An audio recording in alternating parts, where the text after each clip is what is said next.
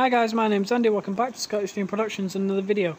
Today I'm giving you a layout update on everything I've done to Ribble Valley Railway. So sit back, enjoy, it might be a long one. If not, I don't know, grab a can of coke, it'll still be a good one. So what has been the main point of focus on this layout over the last two, three months or so? Well, track relaying mainly, um, as you can tell. As you know from the other videos, that track, that track and that track, the one on track 4 and then these two have been totally relayed and I'm also tempted to relay these two corners here and those two corners over there. Just the corners. The straights absolutely fine. It's the corners I've been having all these problems with. So, might need some more flexi-track Maisie. Another thing I did, if you remember, was I lifted up both of the villages and as it turns out, uh, that bit over there lifts out and so does that one. Uh, I know that one has lights, I'm not sure about that one, I didn't have enough time to check, but as it seems, they all have uh, wires fitted for lighting. Now, whether this lighting can be fixed, I don't know, but I really would like to get it fixed and have the lights going again. Because, you know, if I turn the lights off and then get the trains going um, and um, have all these LEDs shining, I think it will look absolutely fantastic. So that would be, you know, a future um, task now that I'm happy with how the trains are running. I don't have to worry about derailments. I can just leave them going for as long as I want. Only thing I really have to worry about is trains decoupling. That's it. Other than that, yeah, I'm really happy with how the track lane has gone. As you can see over here, this area of the layout still does look very much work in progress. And you'd be right, because it is. I haven't got around to doing the ballasting yet because I'm not too concerned about the ballasting until I'm happy that I can leave the trains running for a couple hours and have no problems whatsoever because every time I turn my back on this layout something happens so let's hope nothing happens touch wood now since this corner had to be moved that way a bit to allow clearance from the wall I decided to make this area of static grass uh, look darker so like these two are separate fields. So when I get the chance, I'm going to find another fence. It's going to go from there to that wall there. The one with all the Highland cows in it is going to look really tended to. And then this area is just going to be sort of like grassy, untended, overgrown, left to the mercy of the seasons and to Mother Nature. Might add a couple of scrap bits in there like I have done over there, which we'll get to in a minute. But we'll see. So that's that corner. Now, if you remember in the last uh, time I did a layout update, which was quite a while ago now, you remember this area here was very blank. It didn't have much on it, it was just the underboard of, well, the village was underneath. So I decided to get into the nitty gritty, add some seafoam bushes, and as the train just trundles around here, I think you'll agree that as the train goes past, it looks a lot better with the different colours and that little bit of extra shrubbery other than just these extra trees. Again, more areas to the layout that um, haven't been tended to for a while. Now, here's one I wasn't really going to talk about until I got confirmation, but I got confirmation this morning upon my arrival to Ribble. The station, as you know, uh, I've wanted to rebuild for the absolute longest time ever. And now, finally, absolutely finally, um, I am getting the new Scaledale resin platforms to replace these old ones and make the platform look just that little bit better. And I've also got a footbridge to go with it and a new engine shed to replace that horrid Metcalfe one.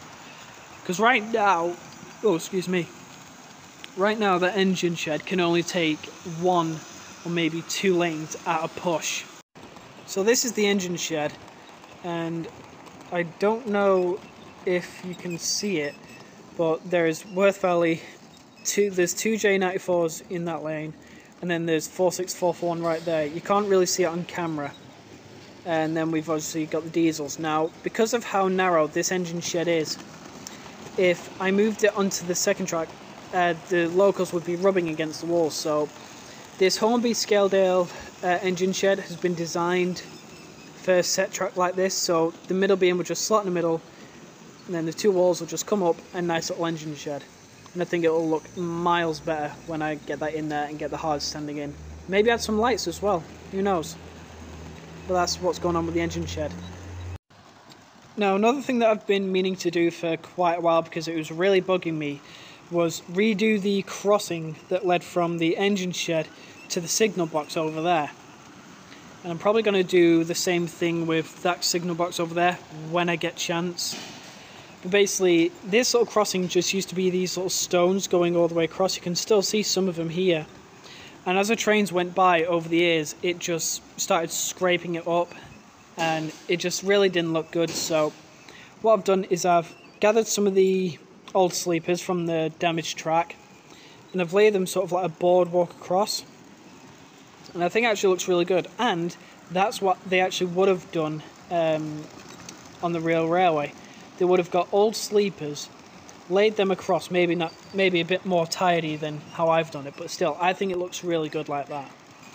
Um, they would have used old sleepers to make a footpath across the track, uh, just for that little bit of extra safety. So you know you don't have to step in a rail, slip, crack your skull open, and then get run over by a Class 68 or a Great Western Hall.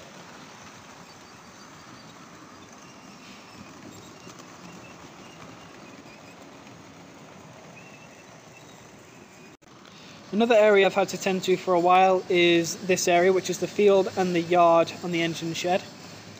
Now these two fields looked very dull before I added the static grass, which I think now looks fantastic. Should I have done the static grass? even if I was going to add this, yes, because it looks fantastic. Scatter to me doesn't look that good anymore. Um, I only add scatter to Silson Steam Railway uh, back when I had it because I didn't know how to add static grass. But now I do. Every layout I get in future is going to get static grass. As long as that thing over there stops electrocuting me. So what we've got here is some old wheels, parts of a water tank, some sort of a horse cart wagon with uh, rails in it, some old sleepers, and a telegraph pole whistle sign. Now, with these telegraph poles, I do have quite a few uh, here. Now, my idea is to have each telegraph pole literally connected by a piece of wire. So, uh, on, let me get a good one. That telegraph pole, and then this one here, will have wires connecting and then that one and say one over here will have them connected and then etc etc I'm hoping to get it done across the entire layout and I think it will look absolutely fantastic if I can pull that off. Now one question that has been popping up a few times uh, when I've mentioned Ribble Valley Railway um, and doing slightly more modern stuff is will I ever at any point or anywhere add overhead catenary?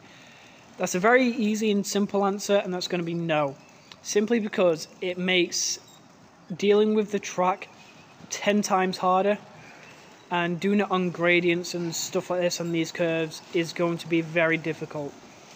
I might uh, get some like Peco single catenaries and like maybe do two or three along here so it looks like there are catenary arms there uh, ready to get moved or put on the railway somewhere.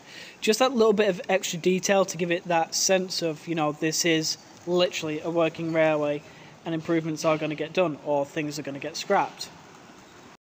Now down here with uh, this little coal merchant here, I am probably going to redo that once um, I get the new stations in and everything done because there was a small pile of real uh, coal here that I've accidentally hoovered up but what I'm going to do in future is maybe move this building back here, have these two absolutely filled to the brim with real coal, which I believe I have a cup of somewhere, which I have lost. Never mind.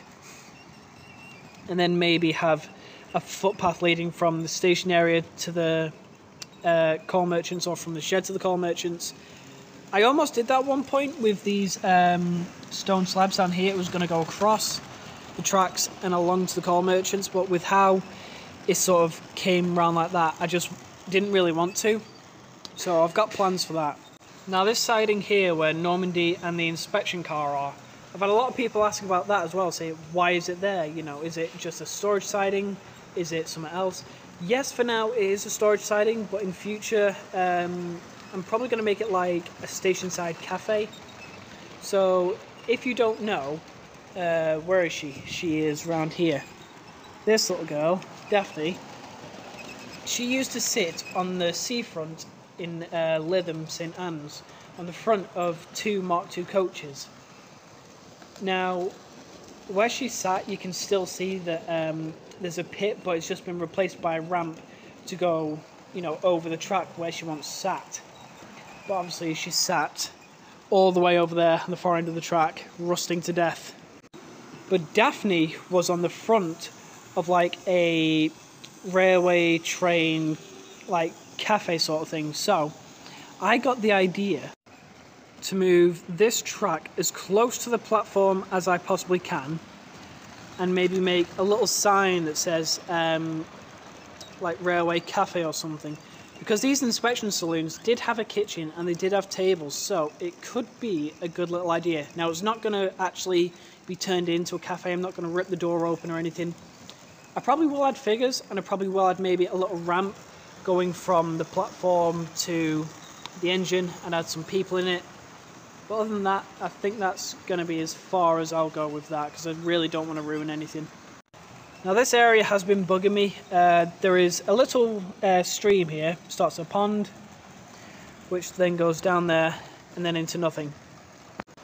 Now I totally get of what they were trying to get at, of the water coming down and then dropping off the edge um, of the, well sort of the bank uh, but I'll probably try and add some sort of like drainage or gutter or something, or a pipe, just to make sure that people, you know, I'm not an elitist or a purist, but I just like having maybe a little bit extra detail. So that'll be something else I'll work on. And if you also look at this, there's a little footbridge and a path that sort of goes nowhere.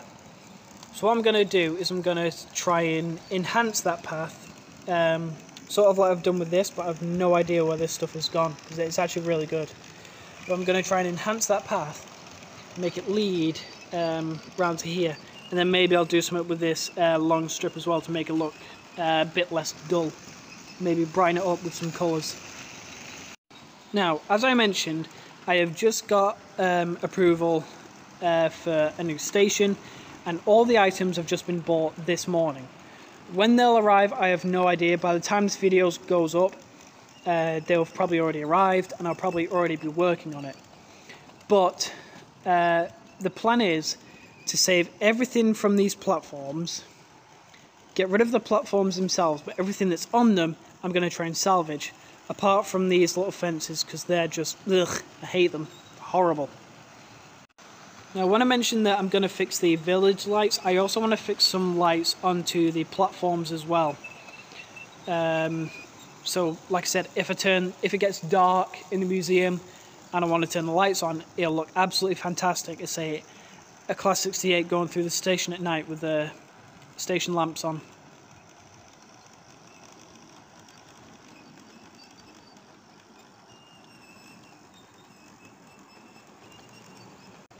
Another thing that's been causing me issues for a while has been these points. Because as you see, it comes head on to the points, and so does that one. Now I cannot count the amount of times I've gone away, come back, and then the two trains have crashed right there on that joint. So, what I'm going to do is that point there is going to go here. So the trains can come in here and then go into there where the station cafe is going to be after I move that. So that'll be worked on. And then that one is probably going to go maybe over there to join round to that curve.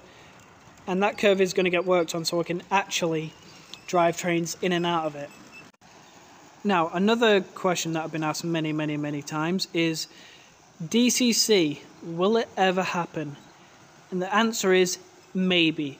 I would absolutely love to have say TTS sound in the steam locos and maybe in the diesel have them trundling around, and the, I reckon the kids would absolutely love that.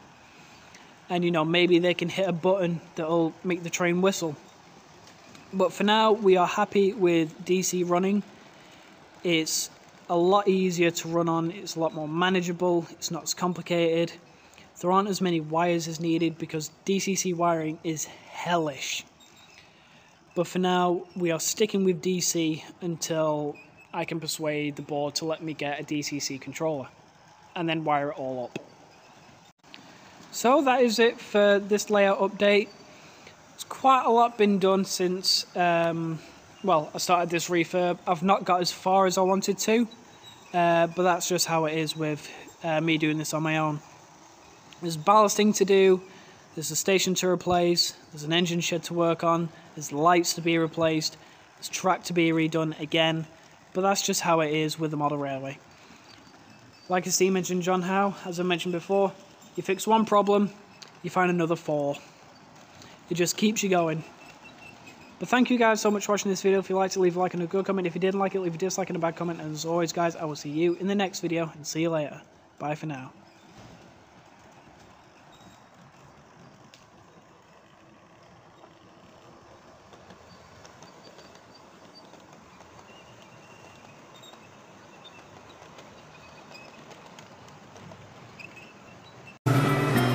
So please stand clear of the edge on platform one.